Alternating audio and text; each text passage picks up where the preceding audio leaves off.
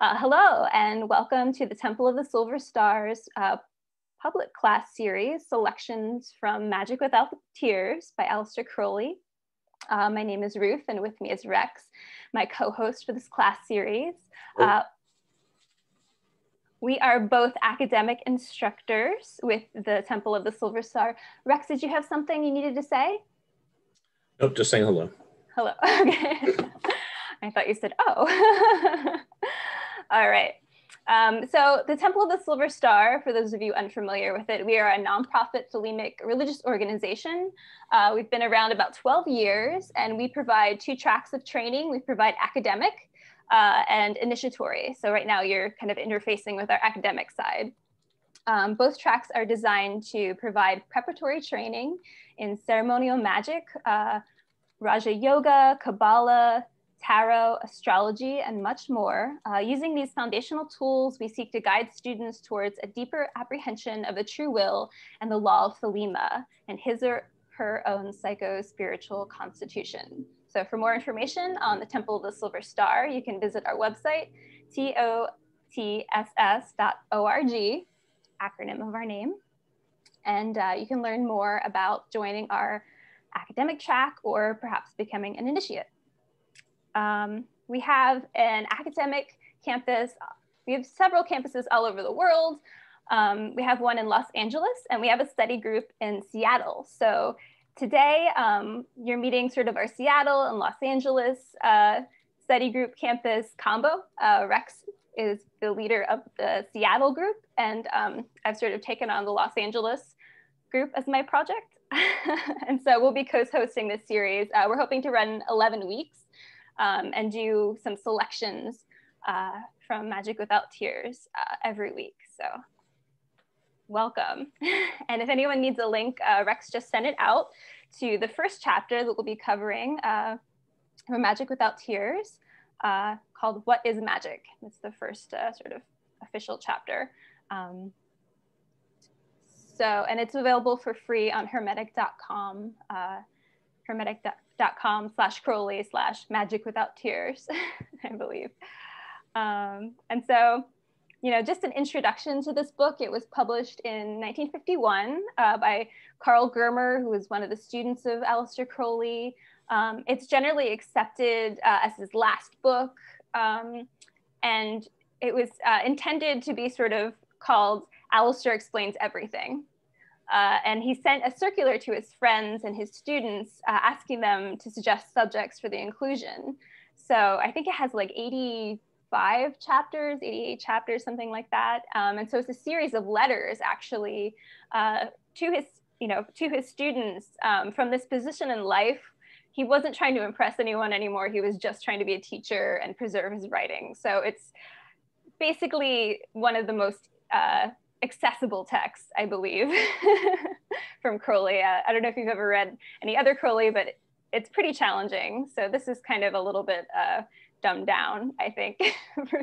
Although um, it's it's Seussian and uh, there's a lot of gems in it, so I'm really excited to uh, introduce and you know just talk with you all about it. Um, so we'll be having kind of this short intro and then we'll get to discussing stuff and, you know, your reactions. I hope some of you have read it before and we can talk about it um, a little bit in depth. I'm hoping to keep this to like, you know, 35, 40 minutes just because, you know, these discussions can sometimes run hours and um, I don't know if everyone has the time to stay up until midnight, although it would be fun.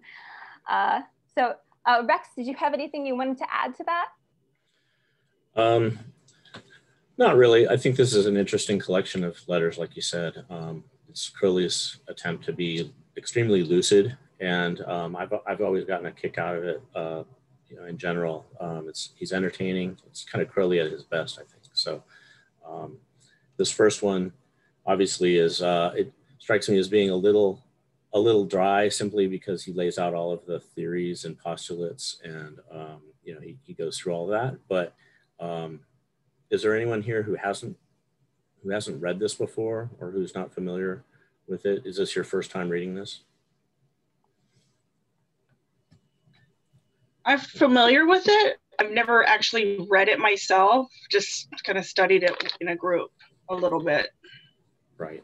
A couple I've read years the whole thing. Okay, That's Kelly. I've read the whole thing. cool. So we have kind of a spectrum. Some for some people it's the first time they've read it. Other people have read it a number of times. So that's that's great. So yeah, well, we can just dive in then if you want. Ruth. Yeah, it definitely gets tossed around as, you know, oh, you should read this first. And um, I remember like when I first started studying Crowley and magic in general, I did sort of read it first and I was a little bit, you know, a little bit intimidated. Uh, Robert just pointed out it is fairly expensive if you attempt to get a physical copy. so This is true. We're very lucky that, um, you know, we have it as a uh, hermetic.com uh, accessible version. There are PDFs sort of floating around of the Israel Regardie uh, wrote the foreword for one in 1970, and I have that sort of on my Kindle. Um, so yeah, let's just dive in, and you can pull it up. Uh, Rex, you did share it in the um, yes. You, so if you guys want to pull it up at all in your browser and take a look, um, you know the first chapter is basically like Crowley, part of Crowley's life work is this, you know, his axioms and theorems and propositions for what is magic. Um, you know, the really famous sort of uh, definition of magic comes from this. The the Crowley, you know, the what is it? The science and art of uh, you know affecting change via will. Um, the science and art causing change to occur in, in conformity with will comes from this you know it's it's cool. Um, of course this is from uh, a lot of this is from a previous thing that he wrote um, in magic in theory and practice. So you know this isn't all totally original but um, it's appropriate that it's the first uh, sort of letter because he just lays it out here you know and he's the thing that strikes me about Crowley that I love is he's not a superstitious person. You know, he's a believer and he has faith, but he's not like throwing a bunch of crazy things at you that you just have to believe. You know, he says, try it out for yourself. And I think this really is a great example of him laying it out and seeing his thought process behind why he thinks that magic with a K is real. I think too, it's uh, kind of his attempt to lay out magic as a as an actual formal theorem. Um, he starts with that definition and the postulate that follows, and he's following the, you know, from a logical standpoint. He's, uh, you know, from a, a formal logic, uh, an educated logic standpoint. He's he's breaking it down. Uh, whether it holds together or not, I think that's, you know, I think he's kind of all over the place when he when he gets to the theorems part of it. But he starts out strong with, uh, you know, his the definition of magic is is very straightforward. The the postulate, any required change may be affected by the application of the proper kind and degree of force in the proper manner through the proper medium to the proper objects. I think you know this. It, he's basically laying the groundwork here for um, the formula that we all use when we're when we're doing any kind of magic ritual or when we're invoking any kind of uh, energy. You know, you're you're basically building up energy, applying that force towards an object, whatever that happens to be, and how accurate you are in terms of the energy you're using, the object that you're aiming at, the, the amount of force you're using. Those are all variables that he's laying out in a very scientific way, where uh, uh, you can you can then test your success and failure based on that. You know, a success is you had all those things right. A failure is something was wrong there. You know, maybe There was a have the- link, a link in the chain that broke. exactly. Yeah, it's a Yeah. it's a chain that he's that it magic. You know, it's a magical chain basically, and um, and Crowley writes about that extensively. And uh, See, I would like to go back to just the, you know, the first part. I mean, so there's he sets up this letter, you know, with these three parts, and you know, he defines uh, what um, magic is: a science and art of causing change uh, to occur in conformity with will. And you know, when I was reading this and just thinking about, you know, my training as a, a Thelemite, I mean, thelema is the Greek word for will. And so, you know, he builds in this this true will, this as a core concept to what magic is. You know, um, you know, in his ethical treatise of duty, he identifies will as the nature of the individual. You know, uh, this capitalized nature uh, is compared to the perfect nature. You know, the earlier Gnostic systems. Um, you know, so really, like, it starts off with like will as this very like axis mundi centralized thing. It's you, you know? Um, and so you can't really separate yourself from whatever you're hoping to achieve out in the world. You are this sort of central uh, axis of magic. Um, you know, I think that's a really core concept in Thelema. Obviously, is it is Thelema, it's will, agency. Yes, Robert, uh, agency. Um, and then, yeah, just looking at the postulate, you know, he brings up like uh, referencing chemistry, chloride of gold. you know, I mean, and to me, this this sort of points at his uh, ideas of scientific illuminism, which was sort of the the, uh, the equinox, um, you know, the methods of science, the aim of religion. You know, this is Crowley, and it's fun to think about the history of this and him kind of coming out of the Victorian age into this age of like, you know, science is changing the world around him with telephones and you know cars and all this technology of the early 20th century and him trying to apply this scientific method to religion you know it's it's like wow we kind of need this i think now you know the pendulum is, has uh, has swung. Um, so yeah just will and then we go to scientific illuminism as sort of the, the postulate. Um, and also just him bringing up chemistry. Uh, i always think of if you aren't aware his teacher was uh, charles allan bennett. Um, and allan bennett was an analytical chemist so he lived with, um, he was a couple years his senior, and he was a Golden Dawn initiate. And Allan Bennett, uh, you know, was an analytical chemist who I think he's sort of uh, all of those um, gematria charts in 777. A lot of that was Bennett's work. He was ill of health, and uh, you know, all he could do was kind of get asthma, so he sat at home. and I think it was Mathers who gave him the assignment. He's like, work out all this gematria for us. Um, and that was Crowley's teacher. So Crowley was taught by an analytical chemist, and I believe he had some analytical uh, chemistry training in his high school days. Um, so a little tidbit there. Um, so yeah, just coming back to the text, uh, you know, postulate two, any required change may be affected by application of the proper kind and degree of force in the proper manner with the proper medium to the proper object. Doesn't say anything about spirits, doesn't say anything about demons. you know, we're not trying to like hocus pocus right now. We're just trying to define things. And I, I love, like I said, I love that about Crowley, you know, how he brings the scientific method um, just into religion and wants us to use it. I think too, he, um, you know, we can see here that uh, this this theory can be applied to all kinds of different things. So you're you can be talking about magic. You can talk talk about uh, you know evoking demons if you want, or uh, using a magic ritual to find a lost watch, or to find you know some other lost object, or um, you could even apply a lot of these theories to just general will. Am I doing my will?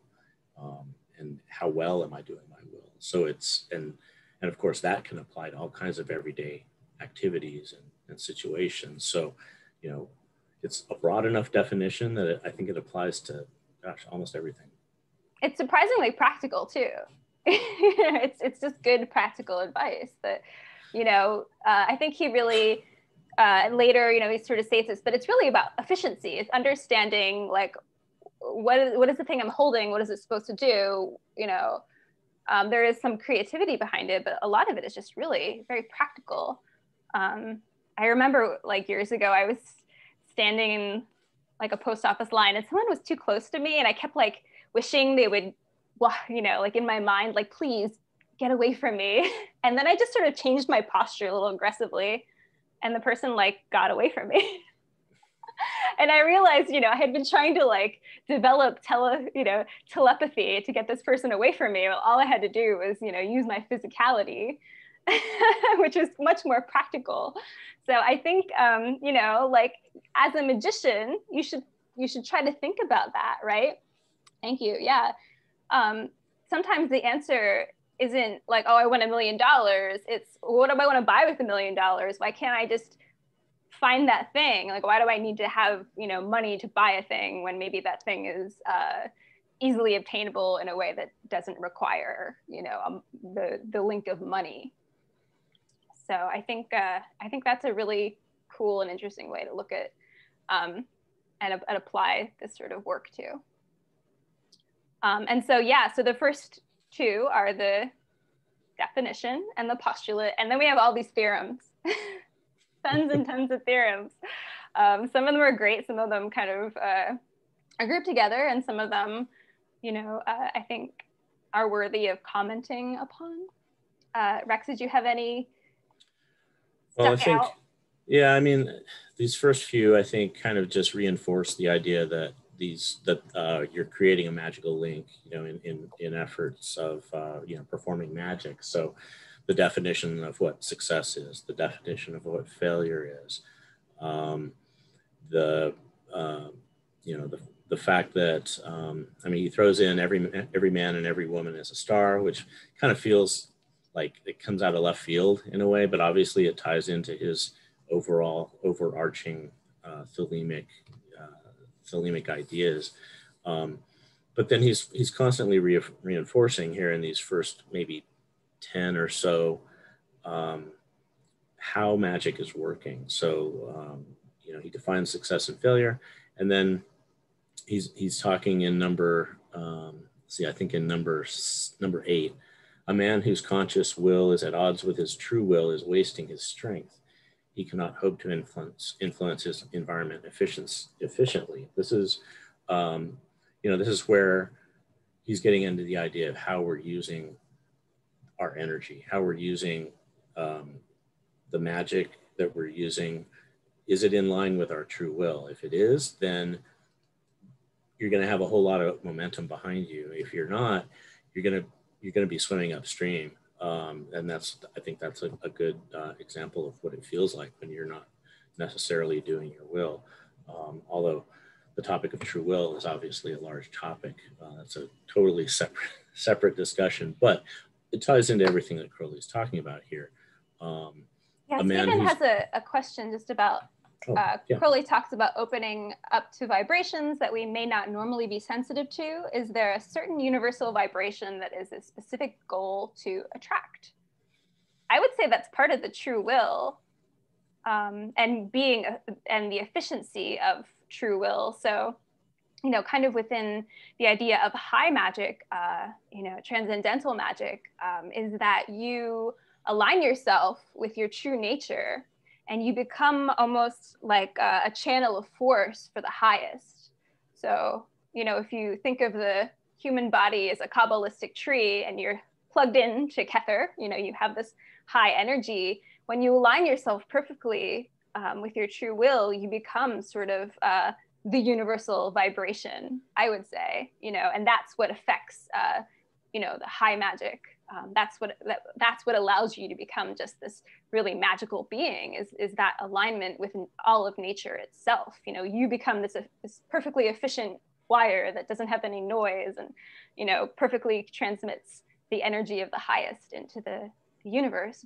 Would you say that's something rex that aligns with yeah definitely. uh, definitely. And I, I think that there's not maybe the way to think about it, the way I think about it anyway, is there's not a certain vibration that you're looking for. It's more like you're looking for your own vibration. Um, we are all stars, you know, the, um, and we all have our own path. We have our own true will. And so um, I think as long as you're aiming towards your own highest aspiration in all of these things, that's the vibration you should be going for, not somebody else's or Crowley's idea of what the vibration, you know, is. It's, um, we're really, in a lot of ways, we're working on our own model and our own tree of life when it comes to that. So um, that would be my only comment there is that it's not, you know, there's not like a particular vibration that everyone should be looking for other than their own unique vibration.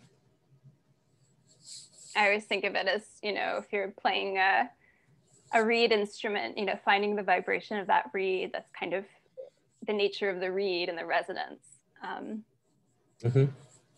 Oh, so another thing I um, and Christian brings a, a, clash proves that one or other straight from the course. Um, and what does it mean there are courses that would never naturally clash so uh, coming back to rex talking about you know the the quote from um, the book of the law every man and every woman is a star um, i like that he adds this in here and he talks about uh, every man and every woman being a star and how these stars every star has its own course and it won't clash if it's if you're aligned with your true will you won't have a clash with someone else if they're aligned with their true will. And I think this really preserves um, everyone's human rights. you know, I think uh, if you're doing your will, um, your will should never be to interfere with someone else's true will. You know, if you if you think that uh, to succeed in your goal or your true will is to subject someone else to some, you know, to your own will, whether it's for their own good or not, that's not doing your true will. And Crowley adds that in. You know, I think a lot of people misunderstand Thelema because they think it is about, you know, sort of this. I know Satanism has kind of this I am a person and I'm powerful and I'm going to do what I want, you know. And uh, Thelema is not Satanism. Thelema is about finding your true will and doing it and allowing other people to find their true will and do it. so, you know, when he talks about not clashing, I, I believe that's kind of what he's, you know, referring to. Yeah. And I think, I don't think that it means that there will never be a clash. You know, it's not like, um, I mean, in theory, if everyone is doing their will, there would be less conflict for sure because everyone's doing their own, they're minding their own business, they're on their own track. Um, but that is to say that um, if someone else is just like totally interfering with other people, um, not necessarily following their true will, uh, but more like interfering with others. That's where you've got the clashes. I think that Crowley's talking about here.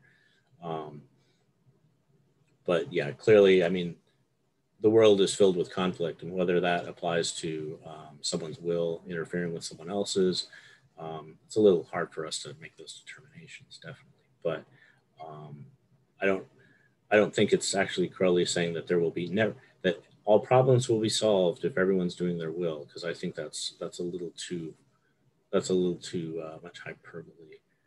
I don't think Crowley would ever say that. That's too happy of a world. yeah, Crowley to live into. no, and and no, it's just not realistic. But um, but I think in terms of the of people attempting to follow their to find and follow their true will and to do their true will, um, as long as that doesn't involve messing with other people's will or interfering with what their true will is, then it should be aligned as well as possible. And Gypsy is bringing up a good point, like straying from our course and clashing in a way. She says it's a way to find one's footing in the path through discomfort, difference, uh, what we don't want to do versus what we do want to do. You know, and that's true. You kind of um, sort of have to face you know difficulties in order to know who you are i think he brings that up in um is it 22 I, I made a note because i was like oh yeah that's totally magical um, yeah so theorem 22 uh, every individual is essentially sufficient to himself but he is unsatisfactory to himself unless he establishes himself in the right relation with the universe. So you know that process of discovering your true will um, to me it really aligns with like the sort of work that a magician an adept a yog- yogi has to take on in order to become an adept um, you know you have to like have the discipline to do the meditation to learn and memorize things and you know how you perform with those tasks sort of like tells you who you are you know, it comes back to that know yourself. Um, you know, if you just assume you're a genius, that's fine. but you'll never know sort of how far your genius goes until you say, okay, I'm going to try something really hard and see how I do. And it is in that process of limitation that you discover, you know, your, your own shape of yourself. You know, if you kind of never really venture onto the path and truly have uh, those discoveries, then you never sort of know who you are. Um, so Robert is asking, how would you know if clashing is wrong or right? You can't. You need to reconcile yourself to the paradox of being active in the world. So yes. Thank I think you. that's true. Yeah, totally. and uh, yeah, a person's sense of themselves is separate from and opposed to the universe is a bar to conducting their current, insulates them. Um, yeah, I would say so. Um, let's see. Oh, he does talk about, uh, I remember in 21, he kind of talks about that sort of separation uh, from the universe. Um, there is no limit to the extent of the relations of any man with the universe in essence, for as soon as man makes himself one with any idea, the means of measurement cease to exist. But his power to utilize that force is limited by his mental power and capacity by the circumstance of his human environment. Um, and that brought to mind that old Buddhist joke of what did the what did the Buddhist monk say to the hot dog stand? Make me one with everything, you know um, the non-duality that Crowley comes back to a lot of, you know, which is like a, a precept of Raja, Raja Yoga practices and, you know, concentrating on something to the point where you can't tell if you're the thing you're concentrating on or if you're yourself, sort of the dissolving of those boundaries.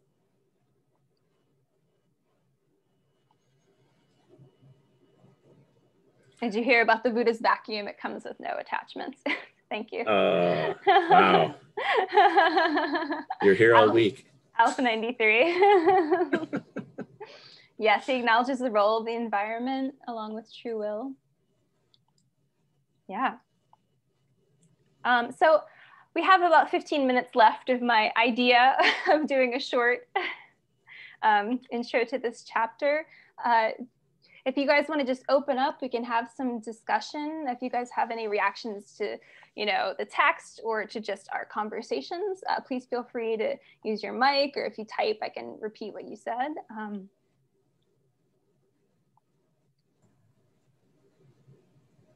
see a lot of friends online that I know have good things to say. Uh, well, I, I just started on the academic um, on the academic track, and I've been reading uh, Liber CL, and I found that was following on studying um, uh, Book of the Law. That was a beautiful elaboration of the ideas in that. And this is sort of, to me, this is sort of the next step where he's really laying out um, what's in Liber CL in a, a, much more methodical kind of uh, rigorous way, which is really, really great because you start to see the, the echoes of one work in the other, and it's very consistent, which makes it easier to, uh, to study for sure. awesome. Thank you, Stephen. Welcome to the academic track too. Happy to have you and you can uh, if you're if you're watching this uh, live you get credit for it as hours so write it down and uh, if you're watching it in video you have to write a report about it so better to join us live if you can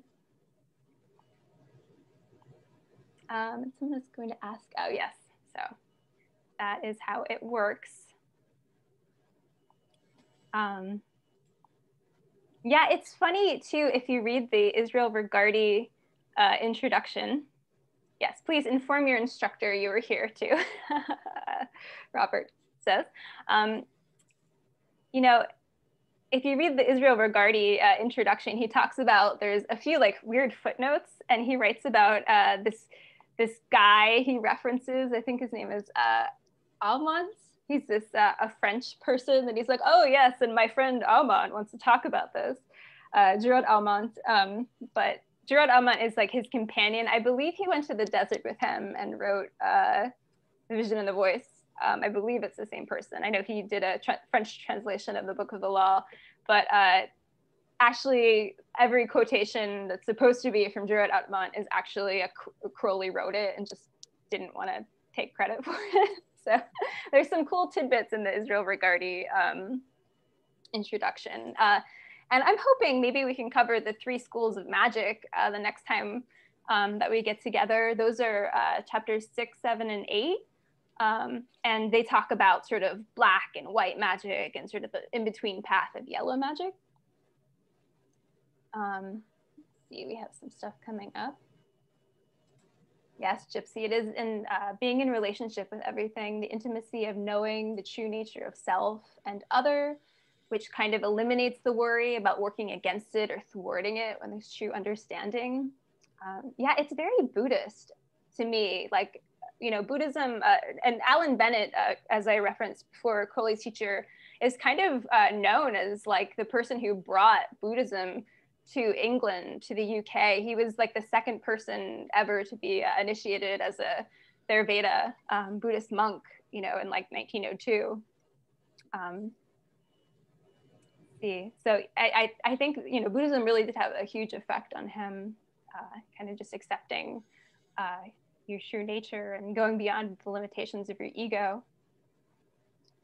Um, I'm not in a particular group. I paid for this class, but when I reapply in January, um, I'm not sure if this would count towards your track. If you watched it now, uh, you could write a reaction paper on it and hand it in later. yeah, I think that's you know if if you want to go back and re and it would be technically rewatching this one and writing a reaction paper. I think that probably would would um, that would count, but you could work that out with your with your instructor. And Robert notes that Bennett became an actual Buddhist saint. That's very cool. yeah, Allan Bennett. Uh, I think I share a birthday with him, so I'm always like, what What did he do? Maybe I'm his reincarnation. Not really. Nice. That's one of the things if you read Crowley, he's always talking about, you know, how many reincarnations he is of Eliphas Levi and, you know, who else does he claim? Everyone in the list of saints, I believe, Gnostic mass. Crowley reincarnation. Um, yeah. One thing that kind of bothered me about this book was that um, we don't get to read the original letters. I think it would be really interesting to be able to. I don't know that any of them exist. Um, mm-hmm. I know I've talked to people who are archivists and they collect Crowley stuff, and I, I don't believe the original letters were ever preserved. I think only Crowley's responses. Sure. So, um, sort of the B sides. Exactly. Yeah, you get the you get the B side, which is probably the more important side, but um, it would it would be nice to to yeah, be able to read the. Uh huh. Yeah, totally.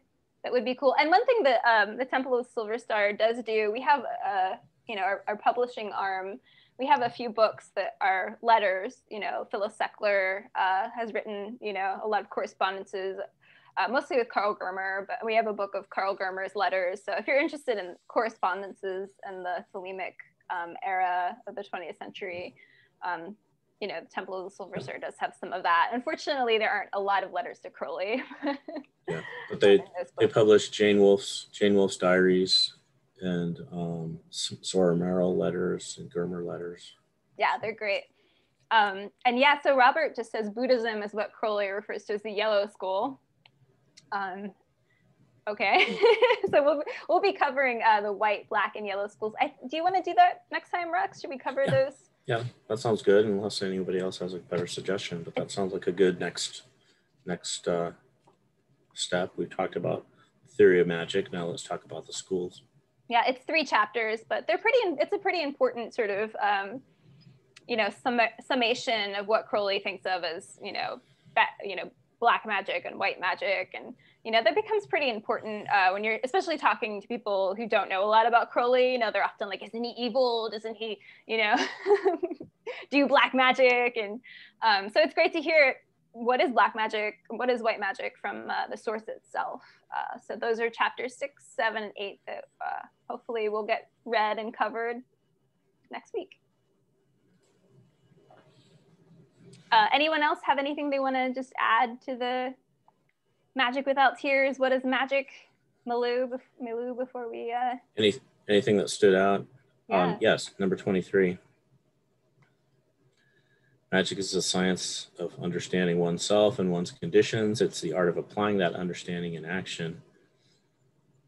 Jason says he just wants to comment that the more work the more work that I do, knowing myself, is that the eye seems to be shifted more towards, say, my star or nature, hadit, etc., rather than my ego. And when I act in line with that, rather than my little ego self, my life is pretty easy, like going with a stream. I think that's a good description of, um, of magic and also applying magic to will. Um, you know, there's a lot, some other theorems in here too, saying that, you know, when you're following your true will, you've got the inertia of the universe behind you. Um, and I think I think we've all experienced that feeling from time to time when things are going really great. You know, we make a decision to to go in a particular direction and doors open and it, it's a great feeling. And I think that's that kind of ties in with this. Yeah, and he means inertia in like the sense of uh, being like a you know of physics of you know um, the, the mechanical world. You know, Right. not not inertia like oh I can't move, but more like everything in the universe is moving behind me and coming. coming Yeah, once once it starts going, it keeps behind. going. yes. Yes. Sweet. Well, thanks for joining us, everyone. It's been a pleasure.